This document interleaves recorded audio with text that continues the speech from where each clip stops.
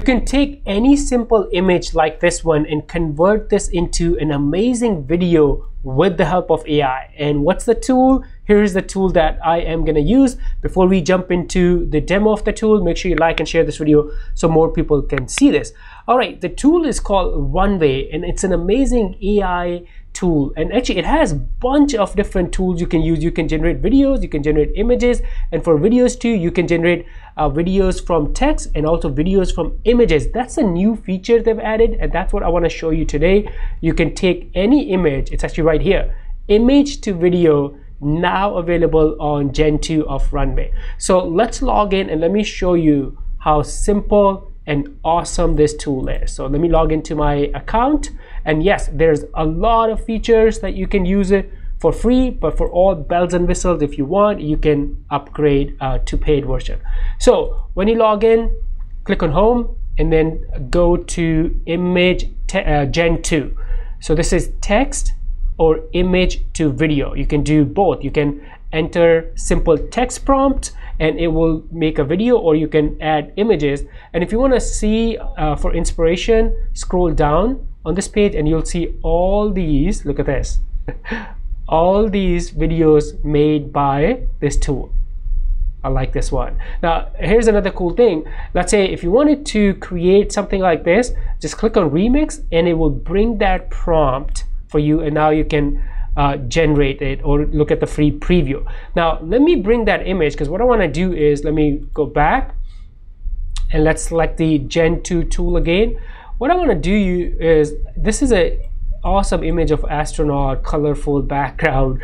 I want to make a video of this, right? So what you want to do is let me uh, in this prompt you can add text here or upload the image so I'm gonna drag and drop that image of the astronaut here here you go. And then you can uh, write prompt if you want.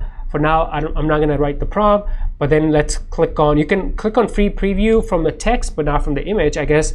Uh, but then let's click on generate. And now sit back give it a few seconds and your video will be ready. And here we go. It took about 20 30 seconds but my video is ready. Let's watch it oh this is awesome look at this so most of the video AI tools uh, for video generation, they create short clips, five seconds, four seconds. But I'm, I'm gonna show you a trick. I'll tell you a trick that you can use to create longer clips. But look how awesome this is uh, you can download this too. Here's the download button. You can download this and use it on your social media or other projects.